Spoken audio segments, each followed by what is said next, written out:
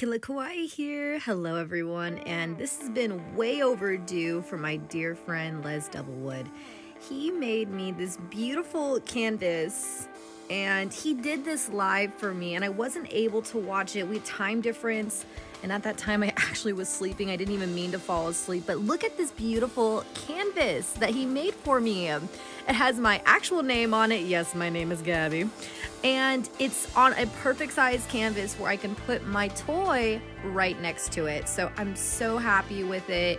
It's beautiful decor and Les Doublewood is a friend of mine that really gives me some of the best advice and some of his secrets are if you give love, you will receive love. And I really do believe that. And that's how he's being so successful with his businesses. So if you guys don't know who he is, go check out his toys. He's got a really cool pirate one uh, he just came out with right now. So I would highly recommend checking it out.